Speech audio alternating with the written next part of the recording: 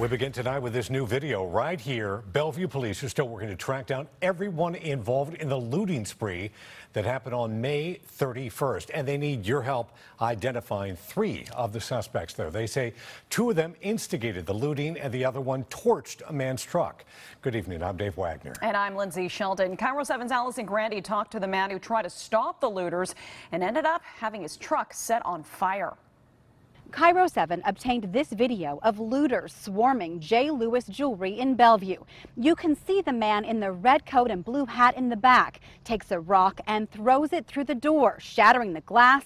Looters climb in. What these two did is they essentially instigated a, a, looting of two locations in Bellevue. You could see the Asian female uh, actually crawl through the window of the store and begin looting the store. And if you look, you'll notice she has a distinctive tattoo on her right wrist. Police hope this tattoo will give away her identity. Investigators say she also looted the Xfinity store at Bellevue Square, along with the man in the red coat and blue hat.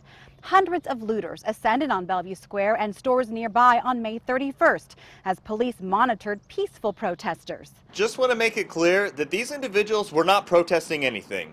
They saw an opportunity to commit a crime. Detectives also need help identifying who set this truck on fire. It belongs to Rick Froton, who'd been called in to board up businesses. We saw a mob of people coming up Bellevue Way, and one of them yelled out, There's a jewelry store and as soon as I heard that, I knew that they were coming to the jewelry store that we maintain. He says he told the looters the store was closed due to the pandemic and the jewelry had already been removed.